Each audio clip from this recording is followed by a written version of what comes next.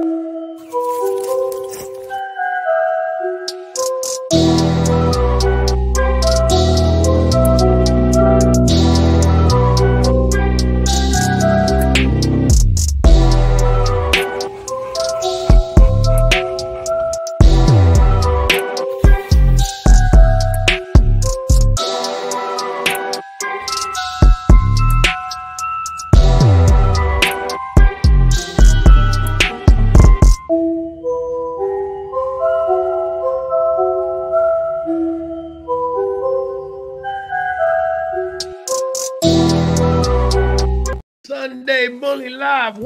is going on, fams? Today we're going to be talking about why is it that so many breeders are hanging them up. this last week, I was contacted by several uh, breeders uh, that either were looking at another breed to breed or were just pretty much wanting wanting to hang it up. What's going on, Maurice? Um, and they all cited the same thing. They said the market is flooded. The XL bully market is flooded. And I'm like, how is the XL bully market flooded? I mean, talk to me. How, how did you come? How did you come to this conclusion? Right. Before before I tell you some of the answers I got, I got. Let me let me just say a couple of things. What's going on, Miss Beth? What's uh, what's going on to everybody, man? But I'm just trying to let you guys just comment. Um, so the difference between, I want to say, a child and an adult is that at some point when you mature, you start becoming more and more objective. You're wanting more and more facts rather than an emotional response to something, right? Um, you know, so the reason I bring that up, D celebrating, he got his one year badge, man. Love for you, D Taylor. Just for that, remind me at the end of the show, D Taylor, you got a free spin. So this is this is I said that so I could say this. Um, a lot of times people will jump into the you know breeding uh, in particular. And again, my point of view is mostly from my breed, American Bully XLs, uh, and my class, that is the XLs. And but from what I understand, you could cross reference this with many other breeds because. I mean, folks, this past week, I even got a call from a Rottweiler breeder talking about he's going to hang it up because his market is oversaturated. Now, I don't know as much about the Rottweiler market per se because I don't sell Rottweilers, right? Um, like this person does. Uh, Steven Street, we got ourselves a new member, man. Number love, bro. And the sound. Es claro que sí, cabrón. Claro que sí, cabrón. We're here every Sunday at 10 a.m. We're doing Thursdays. I know this past Thursday I couldn't make it. You have to excuse me. I had a situation pop up. I just couldn't make it. Um, but definitely we're going to try it this next Thursday. Okay. So hang in there with me, guys. Let's go. Happy days, QBN fam. What's up? What's up? Good morning, Bully fam. We got news on the new breedings. Jeremiah, do me a favor. Once I finish talking about this, bring this up again. I'm going to talk to you guys about the new breedings. Okay. So um, I said all that to say this. Um, I'm not trying to say that people that are you know, uh, wanting to get out of breeding all of a sudden are immature and they're children. I'm not trying to say that. What I'm trying to say is a lot of times when we as humans experience something new, or in this case, you know, um, want to get into a breeding business where we had never bred before, what I notice is a lot of times you're going to get more of an emotional response rather than an objective one. So, like, you know, Raul, can you give me an example, bro? Because, like, you know, you're over here talking, but like, give me an example of, of what you heard, of what you saw. And you know, the the examples that I could give you is they had really, um, I, I, I don't want to say it in in a, in a way, but their expectations their expectations were unrealistic. And their expectations were unrealistic because their expectations going into this was more based on emotion than actual facts. So, let me give you an example. Uh, none of these breeders have been breeding for more than three years. Uh, we just dropped the video last week uh, giving you guys a roundabout of what breeders make and and you know how long it takes to really you know um, gain traction and and and and see the numbers maybe that that you want to see. Um by year number three year number two is usually the hardest one. Year number three is pretty hard as well because the pups that you're producing like no, nobody knows. Nobody knows you. Like you know, you, you, your productions have not been consistently on the ground enough for you to be able to impress people that your dog is able to produce these things and that you know you're actually your program is actually something that they want to want to make a part of of their program okay so expectations i think is one of the first things um that that i noticed um that was completely off they thought that by year three they were going to be making six figures. How? How? How? I don't care if you're marketing, you know, as hard as you want. In reality, your females are not going to be ready to go until they're around two years old. So by the time, you know, you're three years into this, the pups she probably had on her first litter are now just being one years old. You see what I'm saying? Now you're at the cusp of actually advancing your program.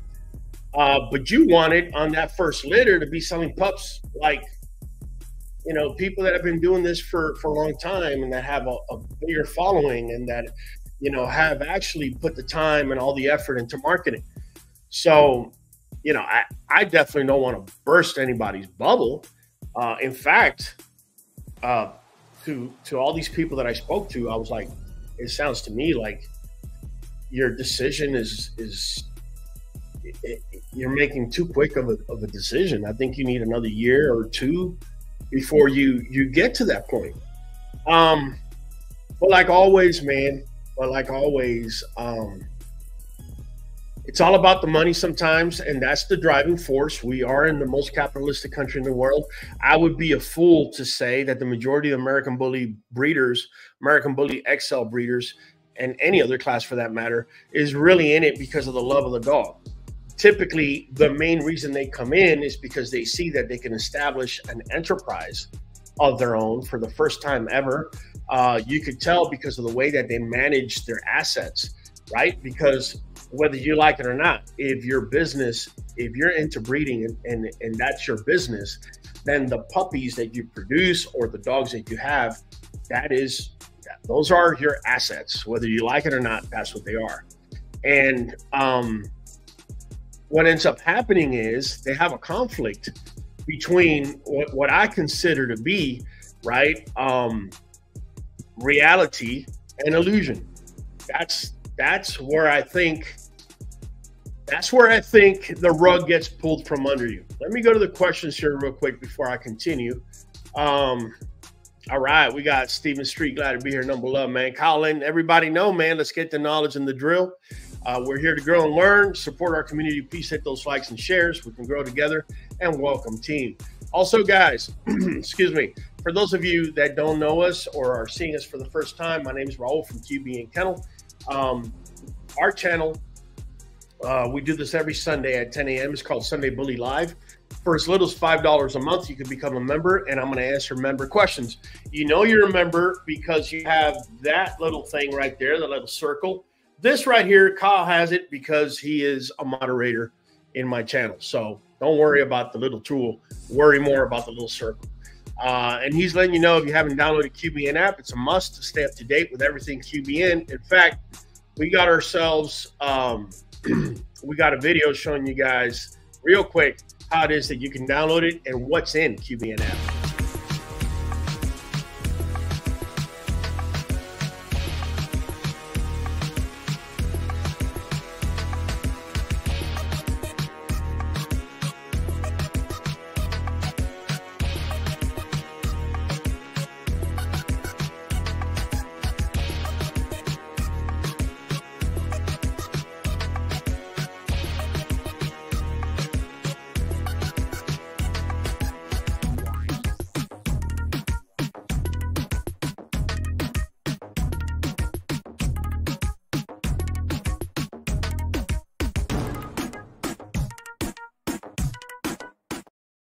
That's it. So if you guys want to consult, if you want to see upcoming breedings, by the way, that breeding there, the black label breeding, more likely than not, we're not using Tyrone. I'm just letting you know right now.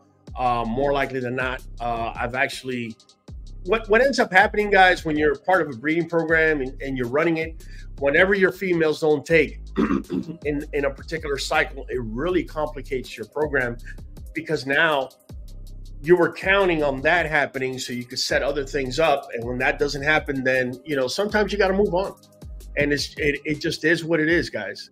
Um, let's see here, man. Let's let's interact here. Uh, I haven't seen it flooded, says uh, Inserata.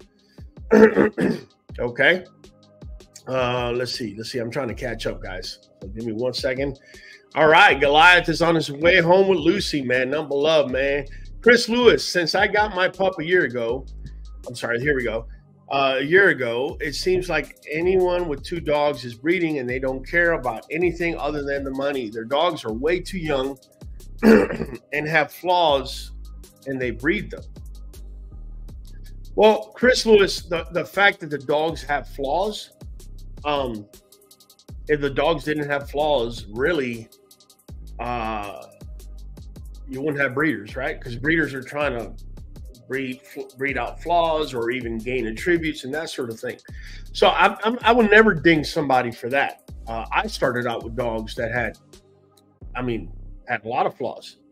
Um, and you progress to minimize those flaws and improve on them right that's that's what breeding is all about um but what you're saying about anybody has got two dogs calls themselves a kennel anybody has got two dogs is already breeding right away is true. I i, I will say that. Um, but just because of that happening i wouldn't realistically say that the market is flooded. I wouldn't. Because that person that has the two dogs that just bought two dogs they're say for example a male and a female he's going to breed to her. She's going to have puppies. Now when he's got the pups or more than likely he's going to keep a female.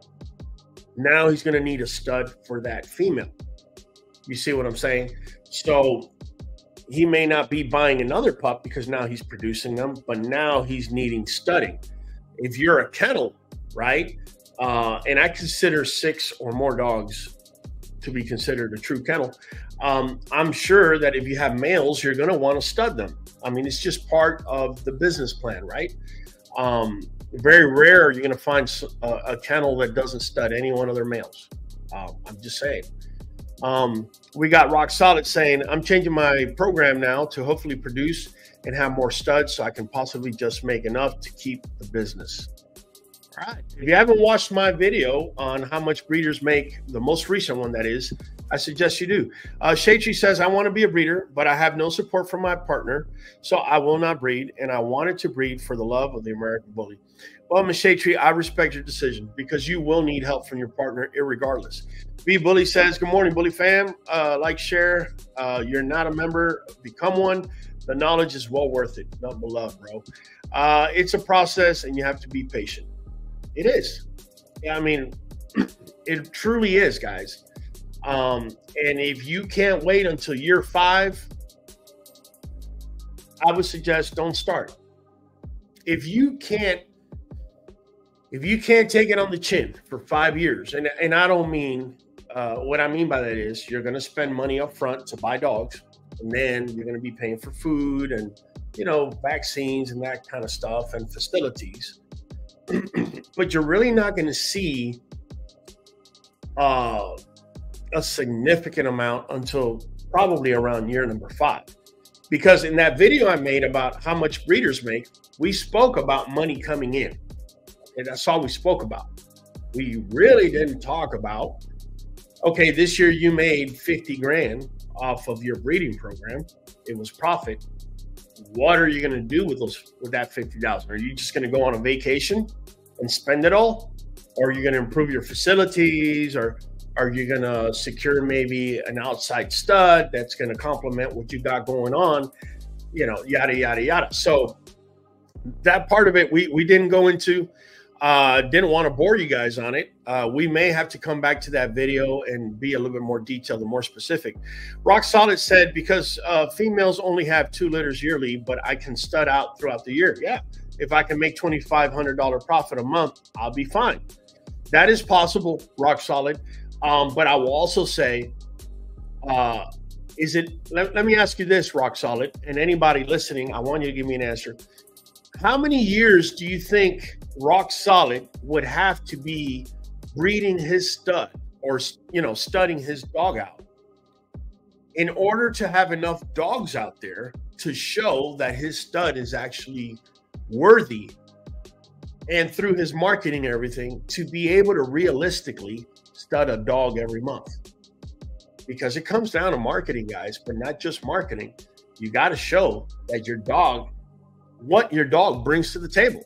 Is it symmetry? Is he overdone in the head or the shoulders? Or is his rear like off the charts? What is it that your dog brings to the table? Right? Uh, Jeremiah is saying, uh, I've been in the market for another pup.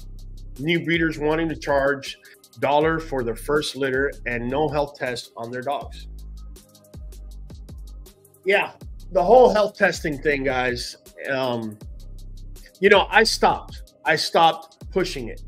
Um, I, I educate on it, I talk about it, but I stopped pushing it. I'm going to tell you why.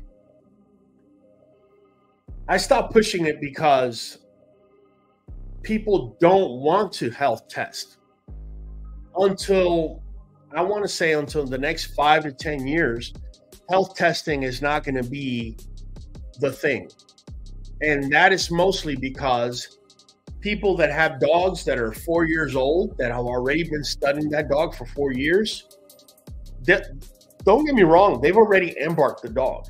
But the minute they see that their dog has this pathology, this illness, this sickness, whatever, they got genes for that. Do you really think they want to show you their genetic test? Right, they were charging $5,000 a stud for this magnificent stud. And now you find out he passes on, you know, kidney issues. Now, what are you going to do? You see what I'm saying? So that's the reason why they don't want to stud. So when you call a breeder up, right, and you're like, hey, man, I'm excited. That's a good looking boy. Can I have his pedigree? Sure. Boom. Send that right away. Because the pedigree, the way it's been marketed, it, it, it kind of sets up the sale because you're able to see all these other dogs that impress you behind the dog right? That's the reason they want to show you the pedigree. The minute you ask for embark, I'm gonna give you this tip. I'm gonna give you this tip. Pay attention.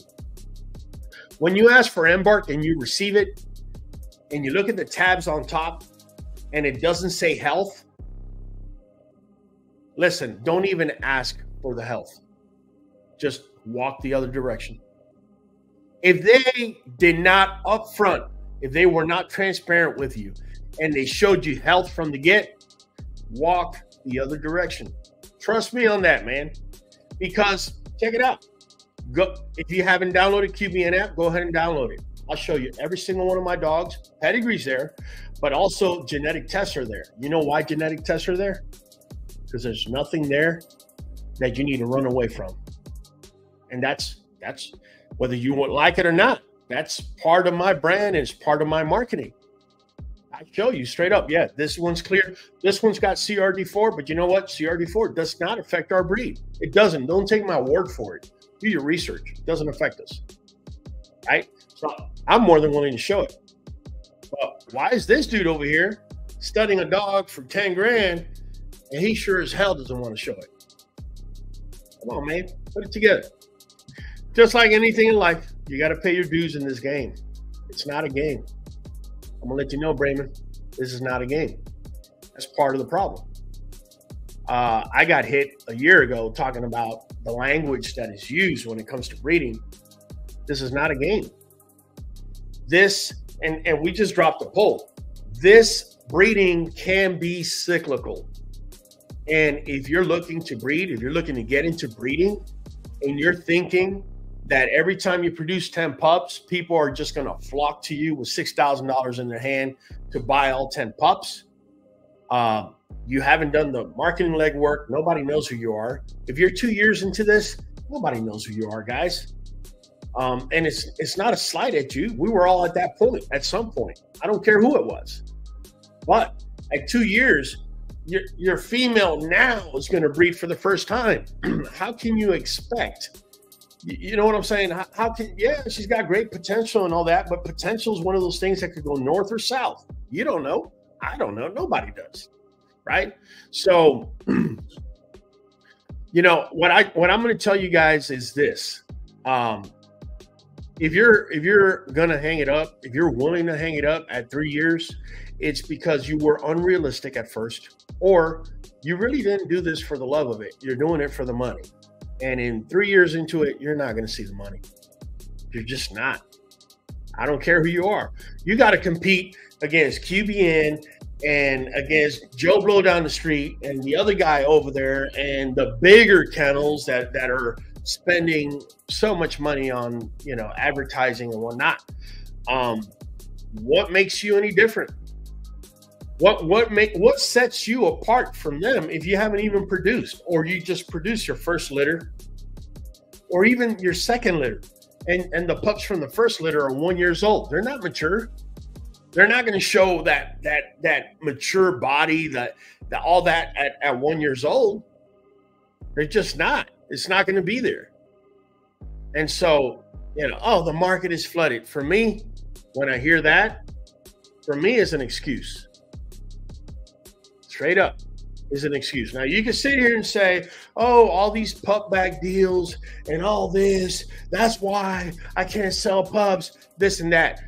Look, I'm gonna ask you a couple questions, and you need to answer them yourself because there's there's no no one in the world that's gonna truly know the answer to those questions but you. Have you putting? Have you been uh, taking two pictures a day of your dogs and posting them?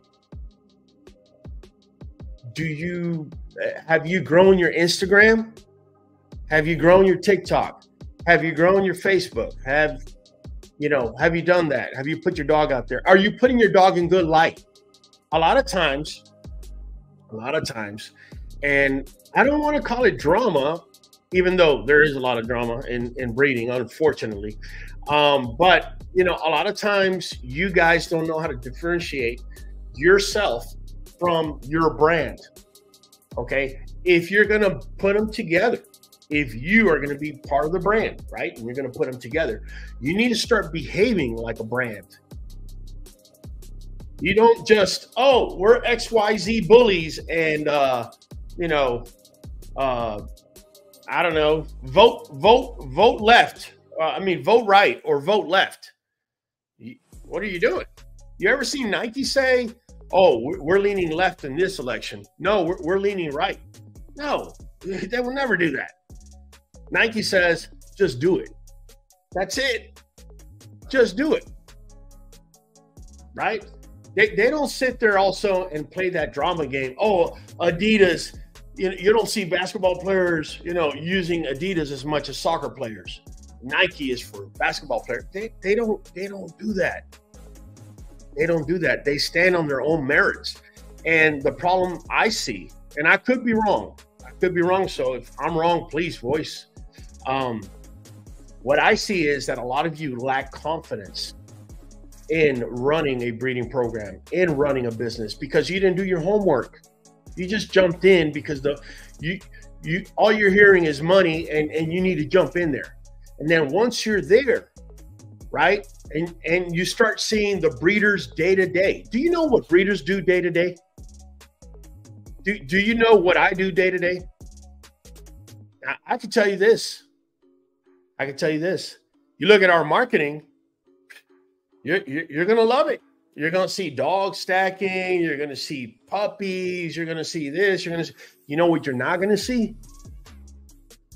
You're not going to see me, you know, cleaning my kennels up to midnight sometimes. You're not going to see me picking up poop like I got to do every day, or back when you know, back back back in the day, uh, you know, if I was late coming in or whatever, my wife would have to go do it. Yeah, you, you don't see that. We do make it look easy. We make you think like, oh, and then and then you know, I've seen arrogant people say, "Oh, if he could do it, I could do it too." Really? what do you know about dogs? I don't know nothing, but if he did it, I could do it. Yeah, that's the, and then you jump in. And then you post a puppy, right? That um you didn't take your time to take a picture. You didn't uh, take your time to learn a little bit about photography or any of that. You just uh, just took the picture. Now the dog is is standing a little wonky or whatever, and now you're wondering why the hell nobody's even budging at the pup. Well, you just the picture shows picture shows this, this, this, and that. Or you or it shows you being lazy. You just took a picture. And let me tell you something, guys. The level of competition is highest at the lazy level. That's where it's highest. The the the more you put into it and and the more you try and refine, the less competition, the less resistance you're gonna find. But if you lazy, you're just here for the money, and you know, you you're on Facebook. Oh yeah, this dude's dogs are crap. This, that, blah, blah, blah. You know what you're doing? What you're doing is scaring away customers, man. You really are. Because I can tell you this whenever I'm to look for a stud or, and I've learned my lesson, whenever you're to look for a stud or anything like that, you research that breeder and you find out the business they did before. Before you even call them, before you even put a dollar in their hands, find out the type of business. And if you see that breeder creating drama, especially with somebody that either used their stud or bought a puppy from them or anything like that, I'll let you I'll let you be the judge as to whether you want to use that dog or not. Because I don't care how how great the dog looks, there's always another one. So when you look at the dog and you're impressed by the dog, I want you to take your eyes off of the dog and I want you to look at that breeder behind the dog because that's who's going to make or break that dog. That's just a fact, fine. It's just a fact. Um, and that's why many of you, uh, you know, the breeding, uh, let's call it the breeding business, is very cliquish. And the reason it's cliquish is because you have a lot of people that jump in just for the money. They don't educate themselves and they play follow the leader. They're the sheep, right? That's what they are. And I'm saying this because I know many of you are listening and you're probably getting upset with me because I'm telling you the truth that you need to hear. I don't care. What's what ends up happening is you don't know what the hell you're doing, and now you're ten thousand dollars in, and now you feel you got to jump with this crowd, right? So they're marketing coattail. You're gonna write it because that's gonna that's gonna land you a few bucks. But then you find out when you have your first litter, you know you had eight pups, you were excited, you only sold two. Now what are you gonna do with six? For two years, you ain't done nothing. You thought that being part of this clique was going to solve your issue. You know how easy it is to learn? All you got to do is put time every day 20 minutes, 30 minutes, an hour. This podcast, this and many before, all you got to do is put your phone, hit, hit, hit play, and while you're driving, don't even look at it, just listen. Just saying. How many of you are really doing that? How many? I know. I could tell right away because of the comments. I could tell right away when I go into social media, the way you present yourself and the way you everything about uh, about the way you're representing your brand, whether you like it or not, tells me if your brand spanking new, if you know what the hell you're doing, or if you're part of a clique and you're trying to ride a coattail. And the problem you have when you're part of a clique and you're trying to ride a coattail is that there's going to be one person at the top and everybody else is going to be behind him riding that coattail. And that person at the, at the very top knows that you know a lot less about what's going on than he does. And when that happens, that's when the big fish eats the minnow. Nine times out of 10, it's that big fish that's eating the very dude that's sitting on his coattail because honestly, to begin with, what are you doing riding somebody else's coattail? What are you doing trying to copy somebody else? Why? You're not them. And not only that, if you want to stick out, you need to be different. Straight up. Somebody has to tell you, right? Somebody has to tell you. I don't mean to be gloom and doom, guys. I just um it, it um I, I, was just so surprised. We you know, the, the people that reached out to me this week, I want to say it was maybe about five of them. Could have been four, could have been six. I'm gonna say five. Um, they were just, you know, they were like, Raul, I don't know. I want you to see my entire program. Um, I don't know what I'm doing wrong. All right, let's go in. When did you start? I started, you know, two years ago, right after COVID. Okay. Um, how many dogs you got? Okay. How many females you got? Do you have any mature females? Oh, this, she's she's ready to breed. This is her third heat. No, no, no. Talking about, do you have a three year old female running around? Oh no, no, no. This is the oldest female I got. So you you haven't done anything wrong as far as that's concerned. You just haven't produced, bro. Right? And then let's go into your social media yeah, you're over here talking crap about uh I don't know, XYZ. Let me give you let me just give you an example as to why you shouldn't uh mix politics with your brand. Just an example. Now, if one day you crack a joke or something like that, I don't recommend it, but just hear me out. So let's say 33% of the country is right and 33% is left and 33% is middle and that 1% is other, right? So it's it's pretty fair all the way through. You come out there and you side with any one of these um, political uh, trends or, or not trends uh, political sides if you if you if you side with the right or you side with the left you're going to piss the other two off you're gonna piss the other two off, guys. Don't don't if you're gonna talk about politics, you need to open your own accounts and go talk about politics there. And even there, I strongly discourage it. Let me ask you this: of the biggest breeders of American Bully XLs, do you see any one of them talking about politics? The most successful breeders I've been around, I have communicated with or whatnot, it's always about the dogs. So if you're brand new into this and you're not getting the results you want, have you asked yourself, am I truly being objective? Or was it an emotional, impulsive move to jump into this without really knowing what I was jumping into? Because if that's the case, and only you can, only you know the answer to that, only you can be honest with yourself. If that's the case, it's easily fixed. It is very easily fixed. I promise you. What you must do is you must be objective. And number two, you need to stand on your own two feet. It's cool to have friends, right? You don't need an entourage. You don't need an entire clique, right? To take pictures of your dogs every day and take video and be their agent and show them in the best light. In fact, I'm pretty willing to guarantee that in that clique that you're in, there's somebody with a high end camera that charges money to do that. So in reality, that person is part of the clique in order to get paid.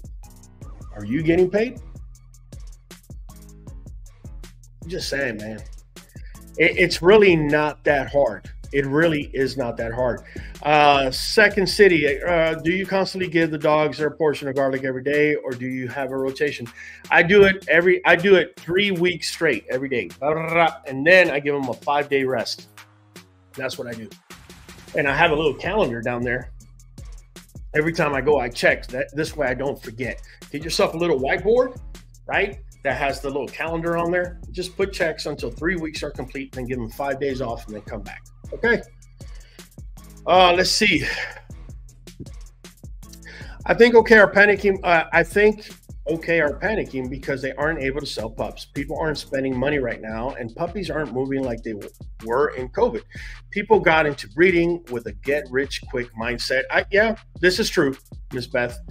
Um, but I also think that a lot of these people that are complaining and are saying that the market is flooded like i'll give you an example and i can't name I, I, don't name the people that consult with me but one of them i purposefully went to a uh, facebook group a very well-known facebook group that has over a hundred thousand uh, uh, subs or people or members and i went in there and i punched their their kennel name to see how many times they posted right? They had two posts in the last six months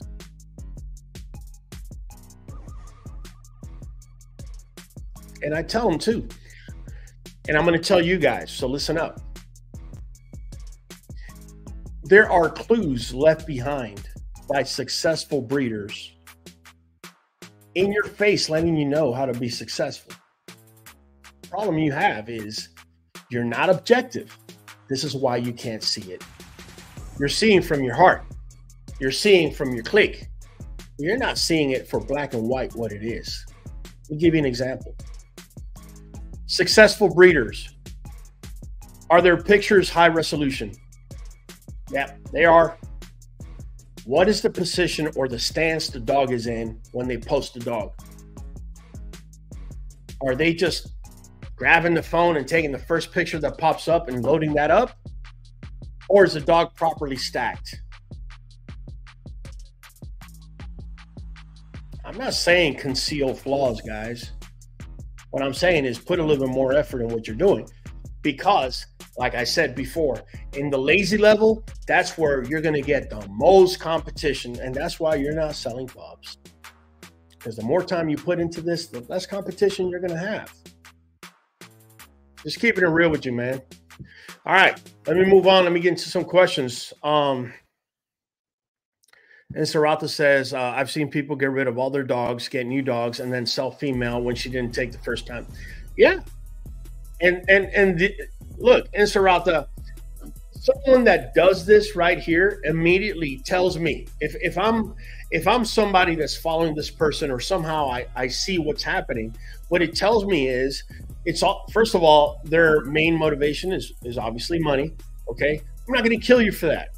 Okay, but what I'm going to kill you for is you haven't learned a damn thing. You haven't taught yourself a damn thing. Breeding is a lifestyle. It's a lifestyle. What? No do I do I have to be the one to tell you that if you have a full-blown kennel, you're not going on vacation? Do I have to be the one that tells you that? Or or is that something you actually already figured out? Oh, yeah, man, because for the last, you know, three years we haven't been. Uh, what do you think is going to happen when you drop two litters, three litters, and you keep a female from each?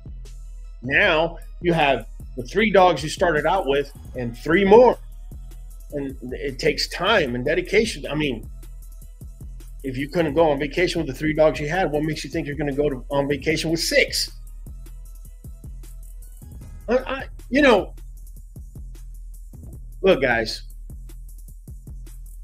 it, in my opinion, if you were to ask me, is the market flooded? No, there's plenty for everybody. Now, with that being said, highest highest amount of competitive competitiveness is going to be at the lazy level. So if you buy a dog, say for just studding, he's going to be so amazing, I don't even have to market. You know how many people I've known that have grand champions or even produce amazing dogs, kennels that are producing great dogs. They're selling dogs between 1500 and 2500. They got no marketing. They never they rarely take a picture. Uh, when they take the picture, the dog is a little wonky. Um, okay, that's fine. You're lazy on that end. Okay. So you, you get what you deserve. You get what you deserve. Every time you post something, you need to understand you're showing the market what it is that you're showing, whatever that may be. So, if the market is about buying dogs and you're over here, you know, saying uh, for Israel or against Israel, that's got nothing to do with selling dogs. But now, now I happen to be, and I'm just giving an example, guys. I happen to be Muslim, and the statement you said about Israel should go in there and do that, you've insulted me in a way where I will never do business with you, and vice versa. I could be Jew, and I hear you make uh, all Jews should die. Do you think I'm going to buy from you? And so a lot of times you you do this over and over, day by day, day after day, and you think nobody's noticing. How stupid is that? You go online and you call somebody a bitch right there for the world to see. You're, you're used to, I don't know, you're used to that type of drama. But now it's time to sell puppies and you only sold one or two. I bet if I could take you back to those moments and tell you, hey, when you wrote BITCH to this person, five potential customers no longer ever want to do business with you. They don't want to associate themselves with you because they feel that you're somebody who's going to bring, bring drama to them. And they're about improving their brand. And that's just one comment that you made in one day. Multiply that by 365 days in a year. And then you realize why you're not selling puppies. Right? I don't come on here, you know, ah, Biden is a knucklehead and and, and Trump is uh, this and and Obama should have done this and this guy should have. Do I have my opinions on all that? Absolutely. Have you heard me throw this out there? How how does that benefit my brand? Say Nike said that. How does that benefit benefit Nike? And regardless, whoever's elected, you're to have to deal with it. Your business is still to run regardless.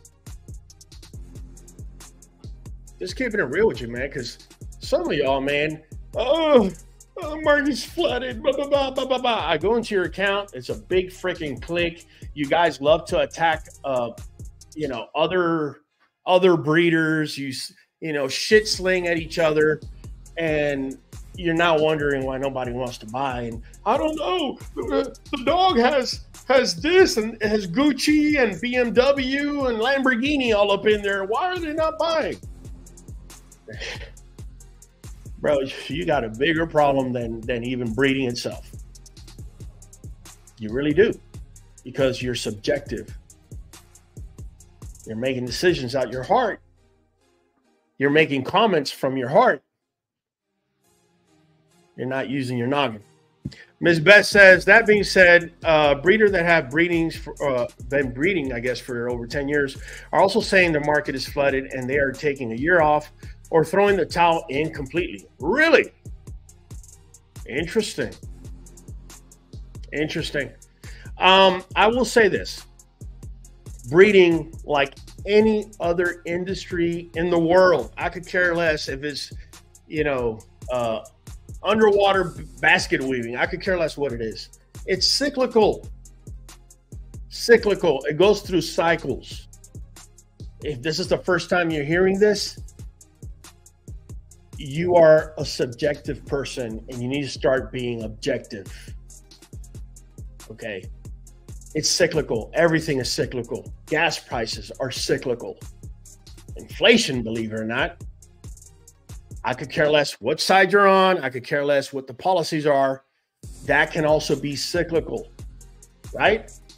Um, you know, any anything else you could think of is cyclical, and therefore, you know, when it comes to to pups, it comes to breeding, it can be cyclical, guys. And if you're not pre- uh, prepared for a rainy day, yeah, this is why you need to hang it up. So if you've been a breeder for 10 days and you're hanging it up, what it tells me you're hanging it up because the market is flooded, it tells me there's something else up in there. There's something else up in there, man. Because if you've been breeding for 10 years, you should, at this point, you should be up there, you know, the creme of the creme. And the creme of the creme is the last one to get affected by any type of flooding. The ones that are going to get flooded are going to be the ones that are lazy because that's where the most competition is at. That's with breeding and anything else in life.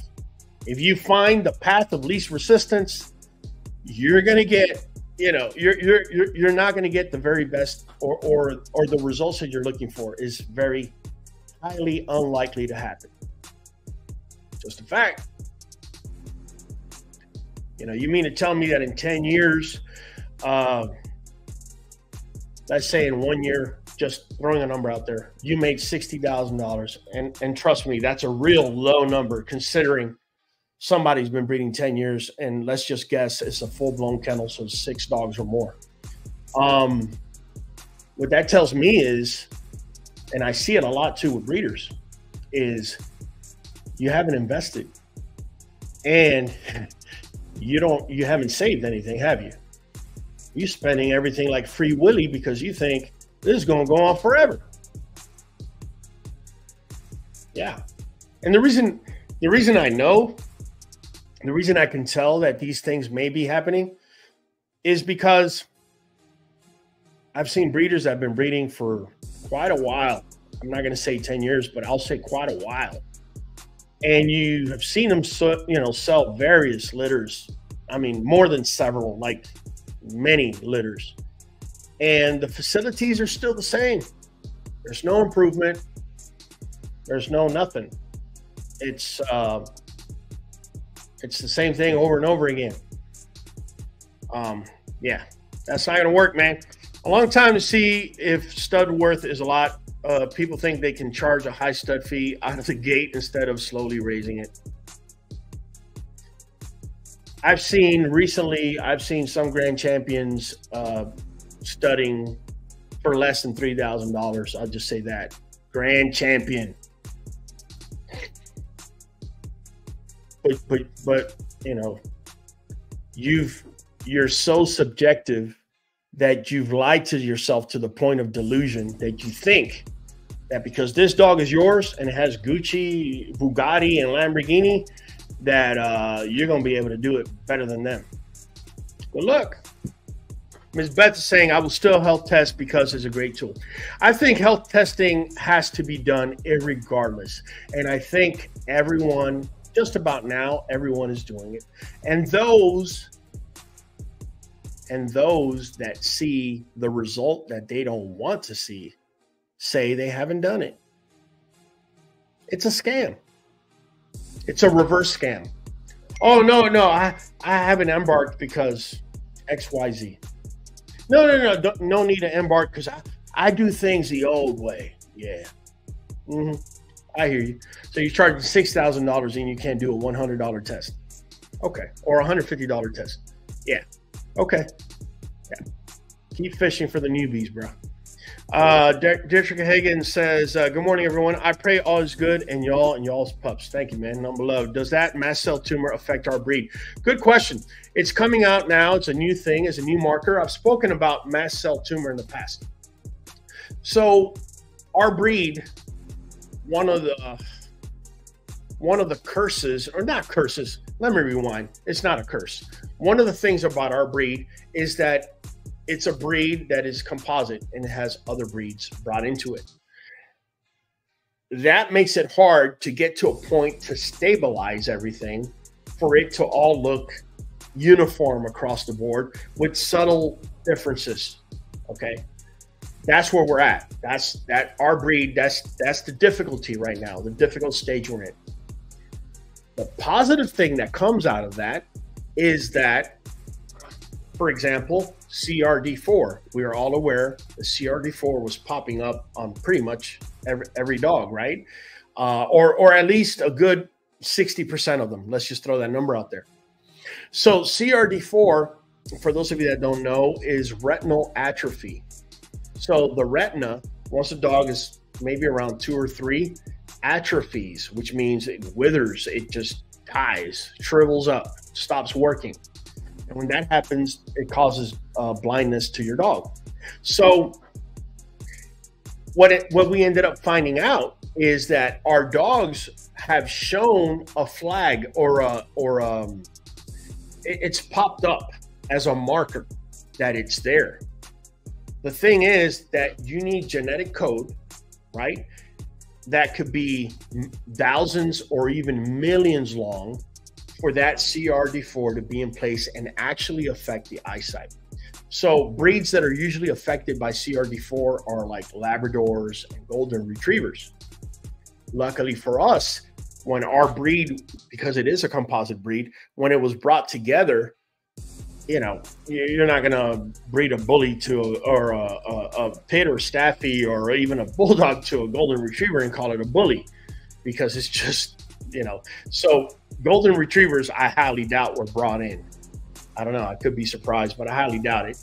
And then um, the same with labs. You know, they might have been brought in, but not not in, in a large proportion. But even if they did, because they're being crossed with a terrier and bulldog, every time you're bringing that other breed in, you're chopping that long uh, genetic code is getting chopped and replaced with that terrier or that bulldog DNA.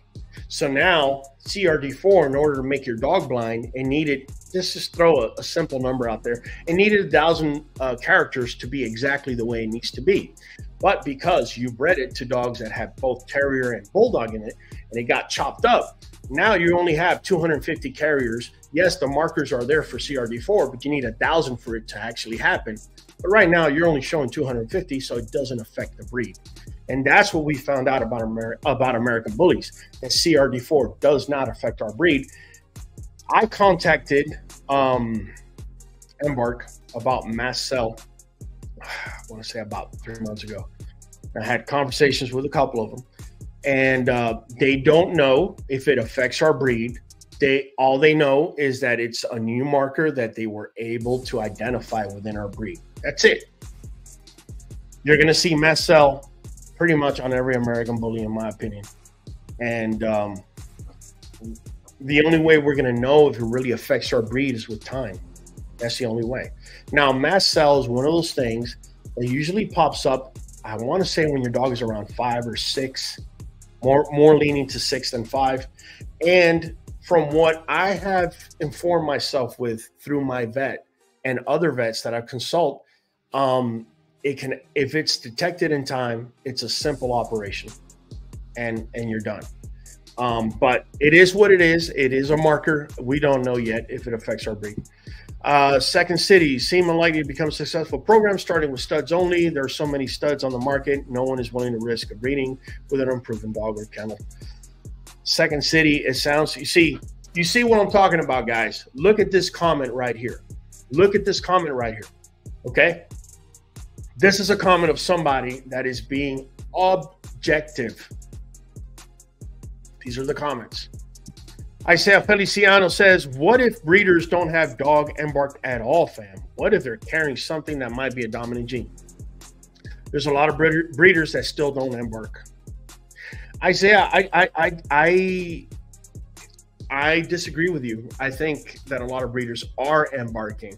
What I think is happening is when they, first of all, I think a lot of breeders don't know how to read an embark and they see CRD4 and they're already freaking out. Straight up. But if they did know that CRD4 doesn't affect our breed, then they'll see, say, for example, mast cell tumor. Oh my God, MCT, no.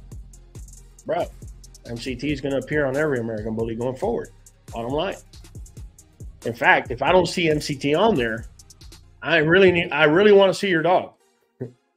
I really want to see your dog. Is it is it all terrier? you know what, what you know what, there's something going on. So i think they are. I think sometimes you know things like you know renal issues do come up and things like that and they don't want to show it because they've already been breeding the dog and they've already been making money. So they know that if they show this the dog loses its value overnight. Straight up. Guys, I see a lot of non-member uh, questions and responses. Uh, if you want to become a member, you can go down to the description below. For as little as five dollars, you can become a member. Um, uh, and and we could have this conversation. We do this every Sunday at 10 a.m. Uh, and it's open for everyone. Let me just show you guys how to do it.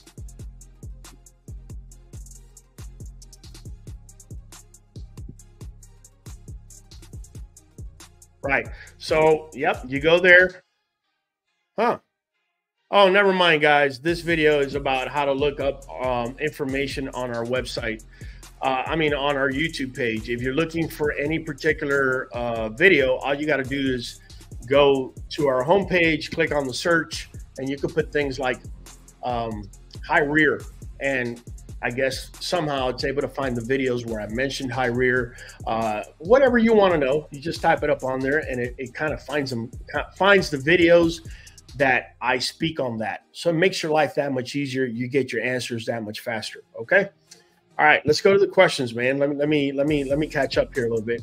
Um, uh huh. Martina says, I'm loving the mornings live. Raul's straight cutthroating. There ain't no sugarcoating here. Well, I mean, guys, honestly, there's there's how can I sugarcoat it? How can I sugarcoat the fact that um, the market isn't flooded? You're just lazy and subjective.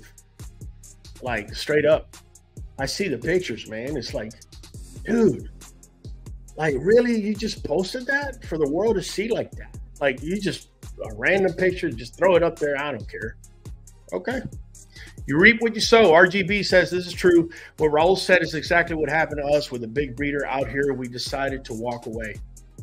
Sometimes that's the best thing. Sometimes the best thing to do is walk away. When you deal with someone and their business practices are not up to your standard, even if you spent money, best thing to do is walk away, guys. Don't get into that drama. Don't get, just walk away. Walk away. Uh, Furman says, um, I would say it's poor marketing, not getting your dog seen. I'm personally building all my platforms to the best of my ability and staying open to other ways to grow a network. Guys, does this sound like somebody that is subjective or somebody that's objective and busting his ass to get his brand out there? Just saying, man. Saludos. I said it. What's going on, brother? Number love. By the way, what what it do with Big Lou? This dude be dropping some amazing videos. Make sure to support his channel whenever you guys get a chance, man. Number love for you, bro. And Sarata says, then they are blaming people selling for less than them. Listen, listen, guys, have you ever been to the flea market? Do you ever see a, a, a somebody selling bananas on one side and somebody selling it on the other, and they're actually yelling at each other? Or you go to the mall and you see them little kiosks in the middle. Do you ever see one of them kiosks that's selling jewelry saying, hey, don't buy from the guy two kiosks from me because, you know, he's got bad breath? No. The minute you see somebody blaming, playing the, when you're playing the blame game, bro, immediately 99% of the time, you need to look at yourself first and you need to be objective. I keep saying it, man a lot of immature people out here that are, call themselves adults, and the way they act online is just appalling. Sally Adams, genetic testing is your only predictor of future illness and disease. It can also let you know if anything undesirable has backdoored your bloodline. Absolutely, man.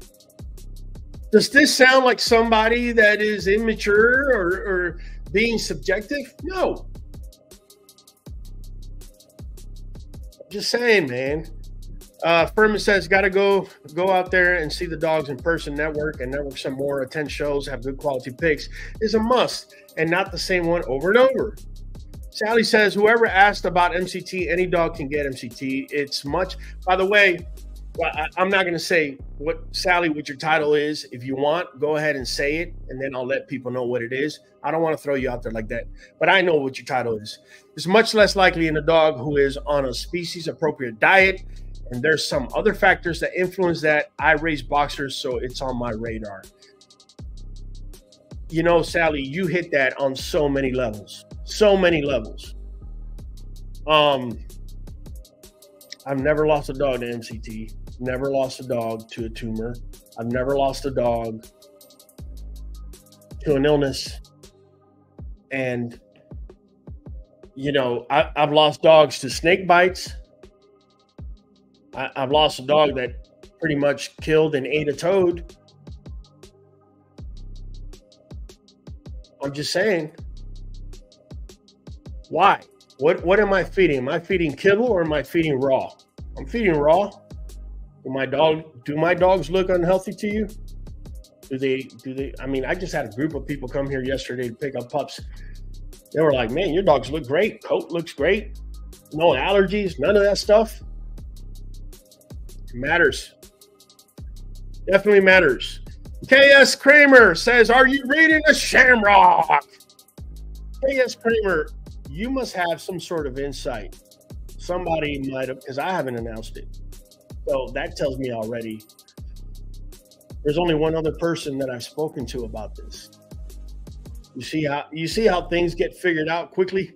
So let me let me tell you guys real quick. Oh yeah, uh, Martin Hernandez says off topic, Raul. Why is Kai Kai no longer on your studding list?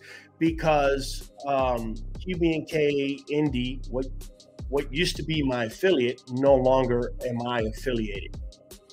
That's why Kai Kai is no longer on my study list. That's it. Keeping it real with you.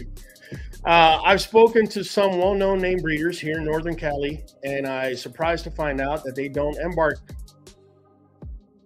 So my question to you is, why are you buying from a non-embark dog? Why are you buying from a non-embark? Now, don't get me wrong. You know, you may have a situation where you have a grand champion. then it comes down to the breeder. Do you want to make do you want to take a risk? Because that's also on the table. You may be able to look me in the eye and say, "Look, Raul, I understand, bro. That embark really helps with with you know minimizing health issues and that sort of thing. But I really want this blood, and I want to take a risk. I have. I've done it. Every single puppy from that litter got embarked.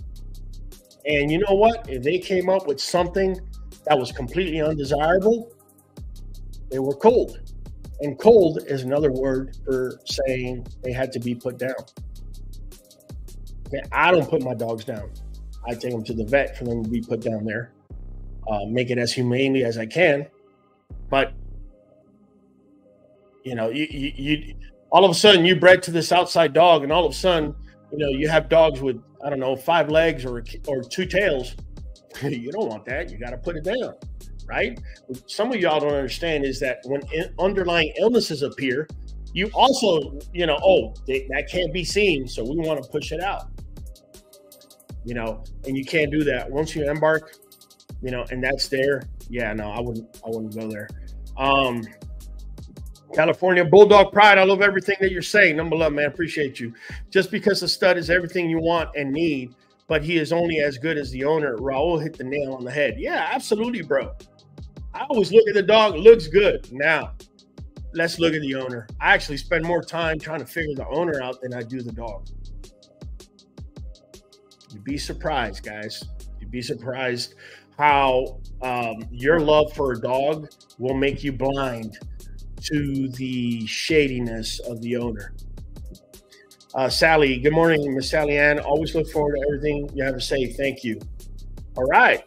Um, Stay Tree, Raul, I love your truths. Thank you for keeping it real. I'm just throwing it out there. I'm just throwing it out there. DNA and embark testing is not only a price factor, but some individuals may not trust it entirely as, it's still fairly new. Uh, yet, to my knowledge, there isn't a place to amend the end results. Of course, there is. There is. You could challenge the result and you could have them rerun the test in embark. Or whoever else, UC Davis, uh, what was the other one? Wisdom panel. Yeah, rerun it. Run it again. I, I've had people reach to me, reached out to me, and said, "Look, mom was all clear, dad is all clear, and this is popping up." I'm like, "That can't happen." Are you sure that can't happen? That's You're talking about where where did that dominant gene come from? If you're doing an outcross, you're not inbreeding. If you're inbreeding, that's a whole different ballgame. But if you're doing an outcross and a recessive gene, remember, guys, both sides, right? The trait coming from dad and the trait coming from mom, they all they both have to be there in order for this pathology to be there. But when you look at mom's DNA, she doesn't have it. When you look at dad's DNA, he doesn't have it. So when you put it together, how is it that the puppy now has it when it was not an inbreeding? There's something wrong. Somebody either put the wrong tube in there. I, I don't know. Embark, we need a retest. That, that, that's how you do it, bro. Jeremiah saying, Have you thought about a mentoring program? Your videos do a lot of information, but that hands on mentoring from someone like can potentially uh, better the breed. Jeremiah, I, we do have a mentoring program. If you go over to our homepage to the membership tab where most of y'all became members, for $5, we answer questions here every Sunday at 10 a.m. I'm here and I'm answering member questions. If you want mentorship, I'm going to pay more. Once a month, you get a one on one 20 minute consult with me. We're going to talk about what's going on, where you're at, what are we looking at, blah, blah, blah. You could ask Isaiah Feliciano. Isaiah Feliciano is part of my mentorship program. I have another, I think, 25, 30 people that are part of the mentorship program. And we we talk once a month. And not just that, if you have a question that popped up or whatever, uh, if I can't do a FaceTime, you text me and we're going to go back and forth. So the the the membership program is already there. It's alive and well. If you guys didn't know about it, now you do, and it's up to you if you want to use it or not. All right. Big Lou, you're a poet. I know he is. All right, number love. I love that. I love that. Guys, I'm gonna catch it up. I'm gonna catch it up here real quick. Lee Foster. In the UK, the dog pens are full of XL bullies that people didn't want. Now they can't breed from them because of the ban. Yeah, yeah, man. I I I I am so upset with that whole uh, UK ban thing. For me, is it's just more of a discriminatory way. It's it's another way of discriminating Uh, I think it's more of a of a class discrimination than it is anything else, guys. Uh, but again, that's just that's just an opinion. Um, Richard Giles, number one, man. Is it okay to give your dog cooked turkey, bro? I would recommend, especially that leg that's got them, it's got them long tendons, bro. But them tendons are, they, they're tricky. They're really hard and very pliable. I would probably run the turkey leg if I could through a grinder, uh, because I, would probably be afraid of those tendons. Um, and definitely don't give it cooked bone because cooked bone will splinter, whereas raw bone won't. Uh, Beth says if somebody told me they haven't health tested their stud, offer to test the dog for the laugh out loud. I can picture their faces. Wow. Miss Beth, I didn't understand what you said, but I, I think what you're trying to say. Okay, hold on. Let me bring my translator. Go ahead, Hollywood. She's saying if they don't have one, offer to do the test yourself and see what they do. Oh, I've done that. I, I, I promise you, I've done that. I've been like, hey, I'm willing to pay you an extra 150 bucks. Yep. Good point. Very good point. And then you'll really know, oh no, but it's at this point where you really yeah, yeah, you're just trying to trying to scam people. What's up, Bama Elite? We got uh good morning, bully family. Miss Beth, I offered so yeah, that's Trayvon. Number love, man. Oh, we got tradesmen exotics. We got a new member in the house. Hit it, Stevo. Pues claro que sí, cabrón. You got it, man. Every Sunday at 10 a.m., we're up in here. G Line says patience is power. And Serrata says some of the most, some of them post videos with them yelling at their dogs. Not good marketing tactics. I mean, guys, look, I'm not saying that a lot of the information you're going to get online is going to be like a college course, but you'd be surprised, man. Some of y'all go get some, go watch some marketing videos. Go, uh, go watch some photography videos instead of playing video games all day. I, you know, I, I, literally, I just had a consult yes yesterday with a 42 year old man who's complaining that he can't sell dogs, and his wife in the background is saying, "Because you don't do none of that stuff, because all you do is play video games." I'm just keeping it real, man. Shay Tree, I feed my dog cooked turkey three times a week. I mix in chicken heart and chicken liver. Be careful with that chicken liver. All that, um, unless you know it's completely um, what is it called, organic or whatever. Uh, if the hormones that they're shooting into into chicken and the growth hormones and all that good stuff ends up in the dogs. That's the reason we offer Nuvet. This is our ordering code 513237. If you haven't done so, make sure to download QBN app. You're able to order Nuvet through there as well. Remember, you get 13% off on auto ship. Make sure to order Nuvet along with NuJoint plus NuJoint DS. Actually, DS is for double strength. Okay, you get 13% off when you have it on auto renewal.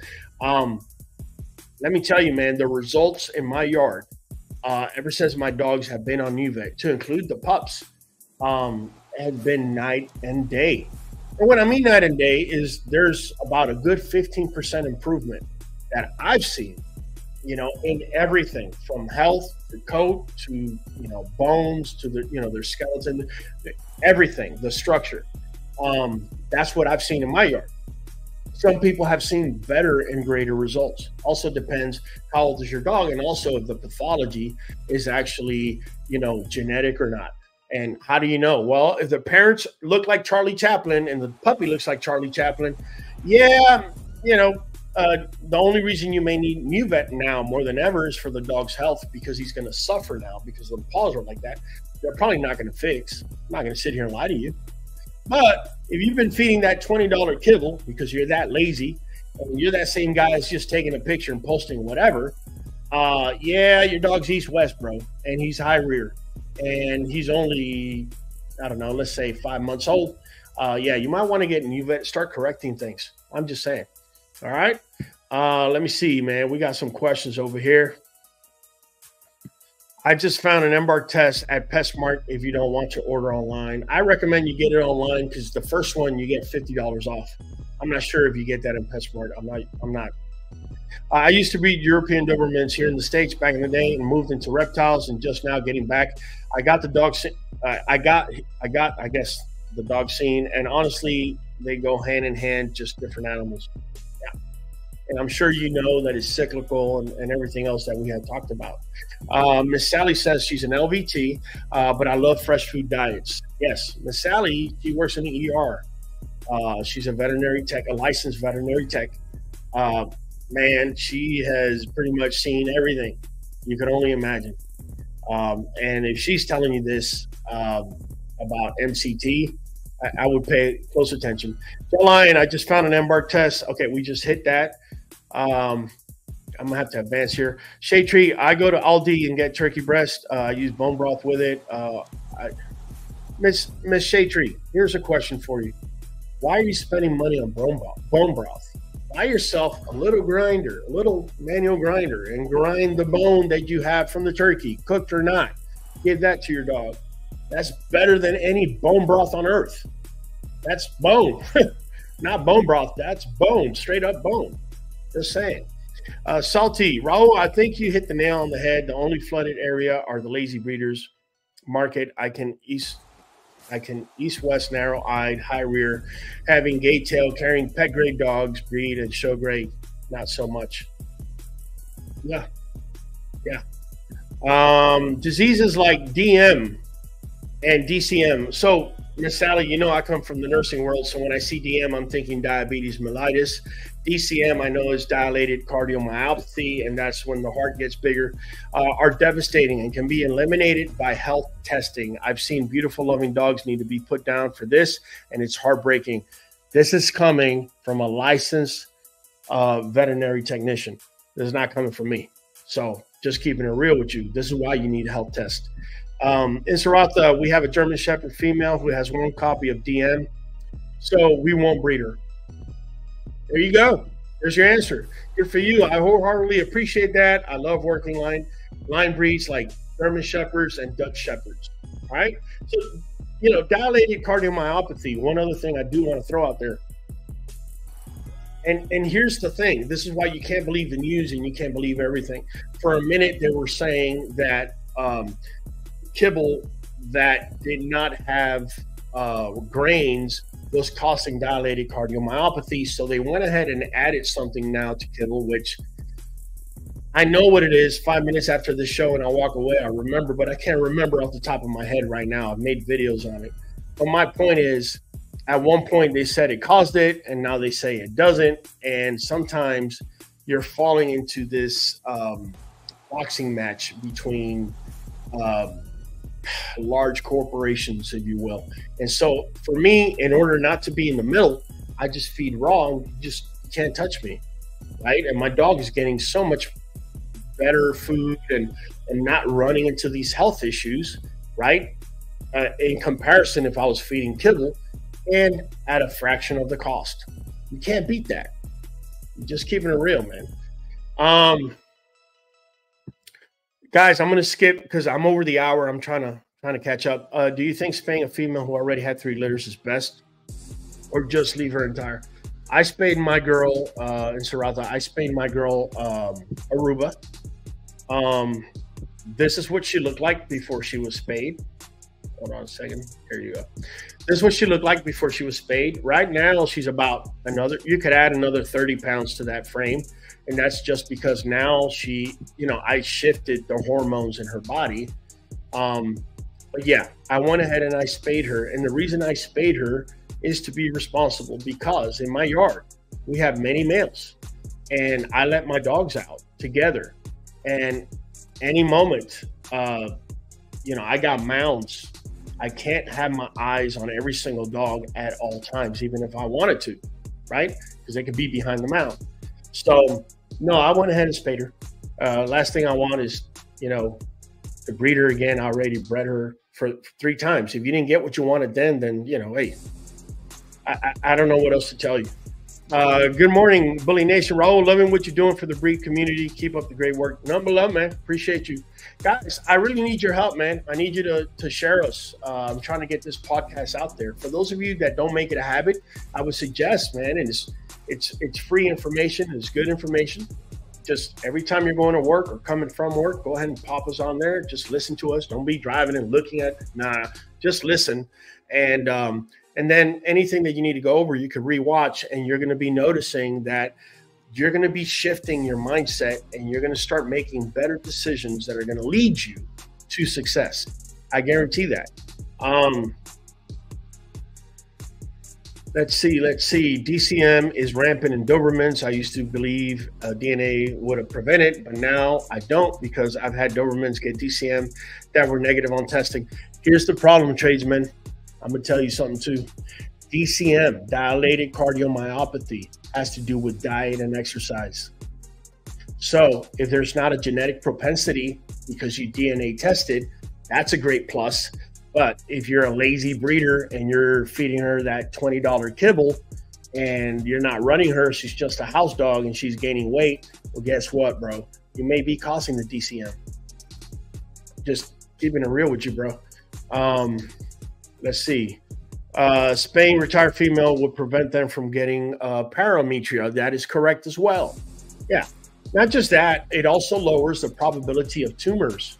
Uh, large breed dogs have been known to have a higher propensity of cancer or tumors, and this is because of, of their IGF 1. For those of you that have followed me, when I've gone over Embark and I talk about IGF 1, which is the uh, growth hormone, obviously it's going to be higher in in bigger dogs than it will in the in the smaller ones and so there's a direct link that older dogs the reason they don't last as long and they also have tumors or or have a higher propensity for tumors or cancers is because of this IGF 1, okay that that is able to cause that so the way around it the way around it is because there is a hormonal chain all the way down. When you grab yourself a female and you spay her, now her progesterone levels are lower, right? Because progesterone, um, I'm sorry, not progesterone, uh, estrogen. Estrogen has been also known to cause tumors. So now you're taking at least one component out of it, and you're hoping that in the chain reaction of hormones, that you're able to break one of the links. Okay. Uh, like I said, uh, I've never had a dog with a tumor. Never had one. Uh, and I pray to God that Aruba never has anything like that. And and that was one of the reasons that led me is that I know that there's a propensity, and the way around it is by spay. So that's why I did that. Um, what is what is CRD one? Uh man, I'm sure it's got something to do with the eyes, but off the top of my head, I couldn't tell you. I know CRD four because I've researched the living daylights out of it. Uh, Bama Elite, I'm not sure if you ever spoke on it before, but what is the earliest age you can embark puppies? I've embarked puppies at two days old. Fact, this last litter, I'm pissed. I'm, I'm pissed off. Uh, this last litter, I embarked um, when they were two weeks old. I let my pups go when they're 10. So for eight weeks, they had eight weeks to give me my results, and I only have half the litter. So definitely um, if you can, try doing it at two days. be, be, or at one day. It doesn't matter. The genes are not going to change. uh, I used to train Schutzhund, so they were active. I really think it was kibble. I switched to raw over the years. There's there's your answer. There's your answer. There's your dilated cardiomyopathy. This is why I don't feed kibble. You're sidestepping so many issues, so many renal issues, allergy issues, heart issues, uh, behavioral issues. Guys, kibble that has corn, corn, the way that dogs process corn, you'll have a dog bouncing off of walls if you feed him that. Stay away from that stuff, man. Is there going to be another bully stack off competition this year? I don't know, Gabe. Maybe at the end of the year, I might just do it. Uh, I'm not sure yet. Marley, keep in mind spaying and neutering too early can cause bone cancer and other problems. Marley, I'm glad you brought it up. Guys, please don't spay a dog before they're 18 months. Please don't do that to a dog. Let them mature at least. If you can, wait until two years. If you can, at least until they're two years. That'd be nice. Just keeping it real with you guys, man. Hey, I'm bringing my guys from the back. Steve O, let them have it. Quality Bully Nation.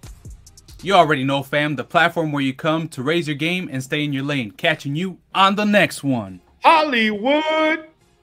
Hey, I was gonna say something about that bone brawl too, man. If you noticed, even if you have the low sodium, it still has onion and a lot of different things that are really bad for your dog if you buy it from the store. So just be mindful of that too.